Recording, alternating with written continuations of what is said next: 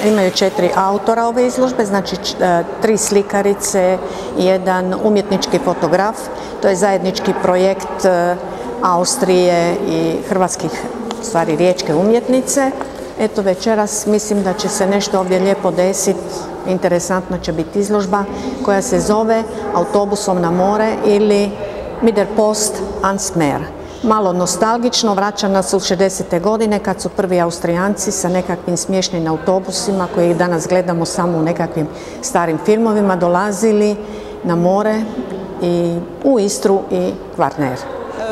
Projekat je za mene izuzetno zanimljiv zato što e, se dotiče nečega od čega mi zapravo u Hrvatskoj živimo, a to je turizam i to je u neku ruku početak našeg turizma 60. i 70. godina.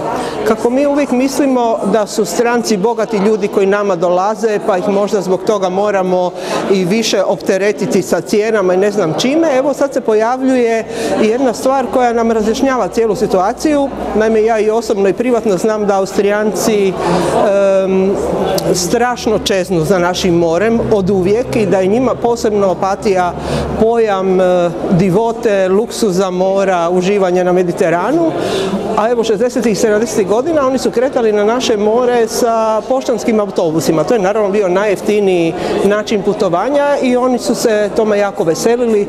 U igri je bio naravno Kvarner, naši otoci, Krk i Rab. E, naša strana e, Istre, recimo ako je to Opatija, nije u Istri, ali je recimo produžetak rijeke i naravno i cijela Istra, Pula, Poreć, Rovinj, e, to je njima bilo sve jako zanimljivo. A što se tiče radova, ne samo mojih, nego i svih ostalih, mi smo imali više sastanaka, nešto u Austriji, nešto tu u Hrvatskoj i dogovorili smo se da će svatko napraviti jedno malo istraživanje unutar tog projekta.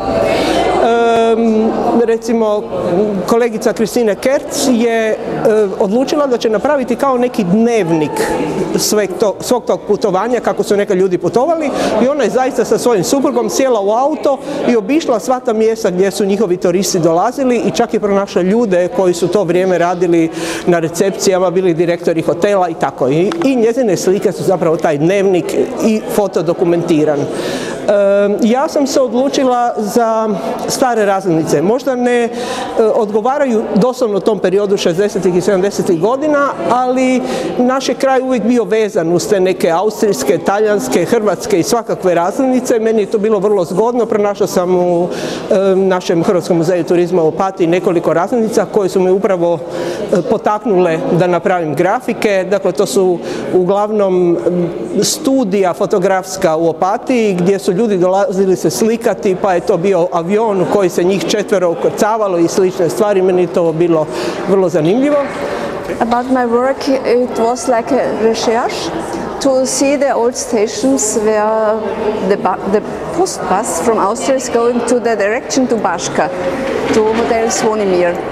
And uh, I stopped at all these stations and tried to find people who remember that or who got friends till now and uh, hotels where they stopped also for that.